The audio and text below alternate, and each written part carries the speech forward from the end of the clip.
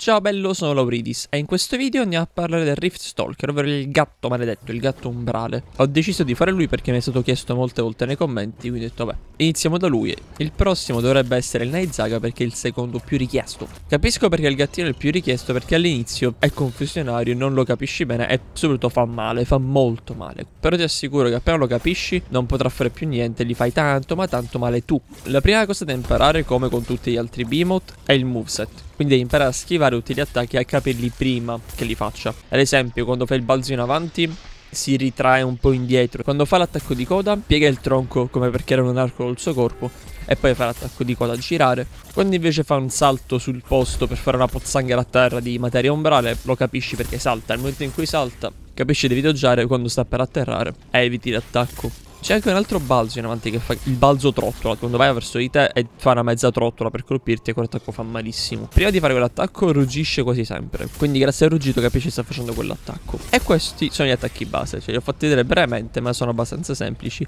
Basta giocarlo per capirli. Gli attacchi speciali che fa sono tre. Il primo attacco consiste nell'entrare nel portale e ti rispunta davanti per attaccarti. Quando rispunta lo puoi interrompere, ha della coroncina in testa, ogni volta che ha la coroncina puoi interromperlo. Imparare il timing di questa interruzione non è facilissimo, quindi fallo, prendi danno, continua a provarci finché non ci riesci. In queste clip stai vedendo come interromperlo con il tipo di arma. Non c'ho la clip con le pistole perché con le pistole non puoi interromperlo, però ti devi portare la granata per stunnarlo. C'è una granata apposta per stunnare Behemoth. E ringrazio tantissimo Vincio che, perché mi ha fatto la clip con le Chainblades perché io non ho il set, e non, potevo farla. Quindi grazie mille stupido Vincio. Però stai attento che quando va in rage non potrai interromperlo sempre perché a volte invece di fare questo attacco che può interrompere, fare un altro attacco che consiste in due colpi di coda e non potrà interromperlo. L'altro attacco speciale è quando ti fa entrare nel suo mondo, crea dei portali davanti a te e ti butta davanti prima delle palline, poi delle, delle copie e poi esce lui.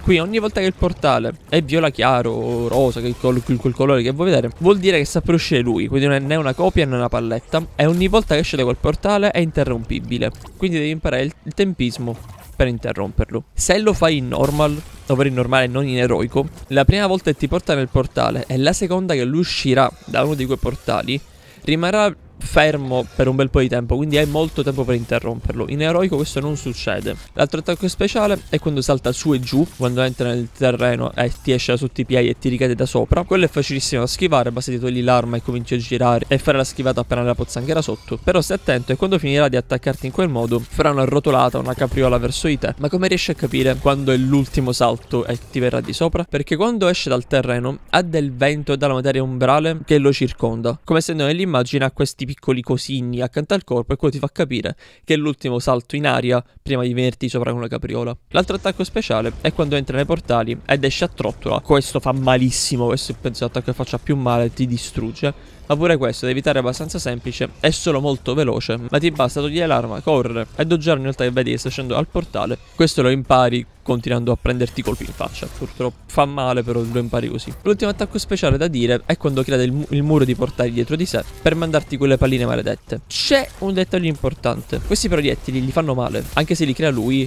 È, è stupido, si fa male con i suoi stessi proiettili. Quindi usa il gatto come scudo quando crea questi portali e fallo colpire dai suoi stessi proiettili. Mi è capitato diverse volte di vedere un proiettile rompere il, un pezzo del, del gattino, poverino. Quindi. E se riesci, cerca di creare il chain break. Ora ti spiego velocemente cos'è. Questa è la tecnica che usano molti veterani del gioco, ovvero il cercare di rompere i pezzi del behemoth tutti insieme, quindi indebolirli tutti allo stesso modo, in cui rompi continuamente i pezzi del behemoth, in modo da non farlo muovere più e finirlo. Anche perché il Rift Stalker è molto debole, e fa male, ma ha poca vita e i pezzi si rompono facilmente. Tra eroico e normale non c'è molta differenza, L'eroico entra molte più volte nei portali, però questo lo rende anche più interrompibile. E soprattutto l'eroico rimane stordito per molto meno tempo rispetto al normale. Queste sono le differenze sostanziali tra eroico e normal. Oltre a quello che ho detto all'inizio. Ok, per il video è tutto. Spero ti abbia aiutato. Fammi sapere se ti è servito, se c'è tutto, ma penso di sì. E fammi sapere il prossimo mostro, il prossimo video ti interessa vedere. Noi ci vediamo al prossimo. Ciao ciao. Having such a good time. Having such a good time. I could